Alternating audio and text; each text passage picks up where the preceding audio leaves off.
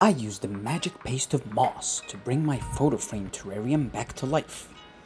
After some growth, I trim and propagate the moss to get this awesome carpet, which is why